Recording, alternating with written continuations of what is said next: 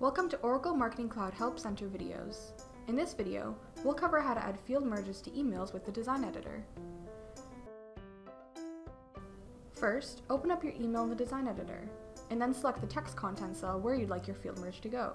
The text formatting toolbar appears. Place your text cursor where you'd like your field merge to go, and then click the field merge icon.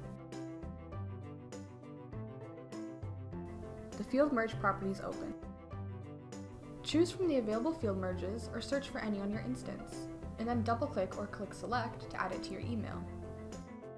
We'll be using the first name field merge. Now you've successfully added field merge to your email. You can also add field merges to web links and subject lines. For more information on field merges and the design editor, you can watch our other videos at Oracle Marketing Cloud Help Center videos, or visit the note page on Topliners. Thanks for watching.